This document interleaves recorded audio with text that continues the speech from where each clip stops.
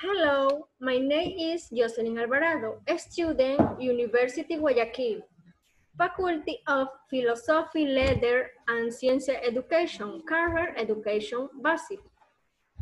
Homeschooling, advantage and disadvantage of homeschooling.